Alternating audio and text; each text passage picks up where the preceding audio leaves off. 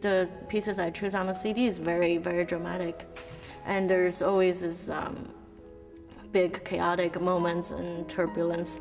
And also there's the poetic part, which I think it, for myself, it touches myself more, moves myself more. So I think that's, that's, um, that's why we're still playing the music we play. It's um, because we want to uh, communicate uh, between audience and, and artist.